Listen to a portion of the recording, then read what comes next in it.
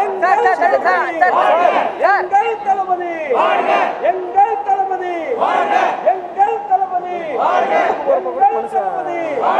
எங்கள் தளபதி sir sir AIADMK MP ஒரு ராஜினாமா பண்ணிருக்காரு அது மட்டும் கருத்து சொல்லிட்டு போயிடுங்க சார். அதிமுக எம்பி கலைஞர் ராஜினாமா பண்ணியிருக்காரு. காவிரி பிரச்சனையை தீர்க்க முடியலன்னா எனக்கு எம்பி பதவி எதுக்கு?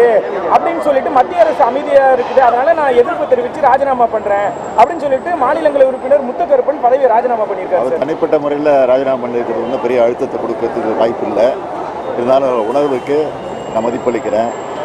இருந்தாலும் அதிமுக ஐம்பது நாடாளுமன்ற உறுப்பினர் ஒருத்தர் ராஜினாமா பண்ணியிருந்தாலும் நாற்பத்தொம்பது பேர் இருக்காங்க. ராஜ்யசபாவை சேர்த்து. அவங்களும் சேர்த்து ராஜினாமா பண்ணுறேன்னு சொல்லி அழுத்தம் கொடுத்தாதான் பிரதமர் ஒரு வேளை முசிவார்னு நான் நினைக்கிறேன். அந்த அழுத்தத்தை இதுக்கு பிறகாவது கொடுக்க இந்த அதிமுக முன்வருமா என்று நான் எதிர்பார்க்கிறேன்.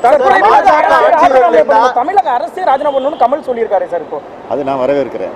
சார் பாஜக முன்னாடி- இருந்திருந்தா இந்த பிரச்சனையே வந்திருக்காது அப்படின்னு தமிழிசை சவுந்தரராஜன் சொல்லியிருக்காங்க.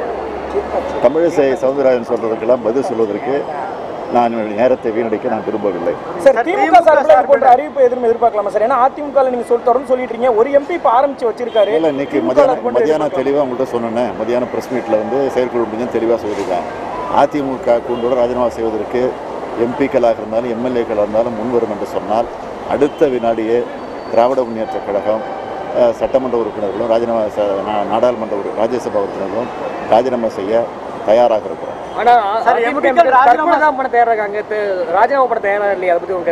நான் இதெல்லாம் வந்து கொச்சைப்படுத்தி பேசுறதுக்கு தயாராகில்லை விமர்சனம் பண்ணுறதுக்கு இது வந்து தமிழ்நாட்டினுடைய வாழ்வாதார பிரச்சனை.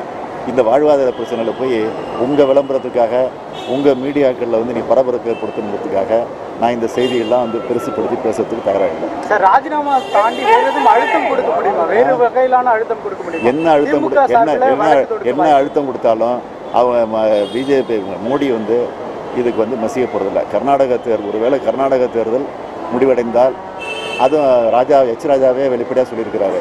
கர்நாடகத்தில் அவங்க வெற்றி பெற்றால் நிச்சயமாக கிடைக்கும்னு. ஆக இதிலிருந்து அவங்களுடைய உள்நோக்கம் அவங்களுடைய எண்ணங்கள் தெரியுது. சார் மீண்டும் பிரதமரை சந்திக்க கோரிக்கை விடுக்கிறீங்களா சார்? இப்போ இந்த நிலையில பிரதமரை வந்து சந்திப்பதற்கு இனிமேல் முயற்சி செய்வது வேஸ்ட் அதனால தான் கருப்பு குடியோடு அவரை சந்திப்பதற்கு நாங்கள் முயற்சி செய்து okay sir okay sir. Thank you sir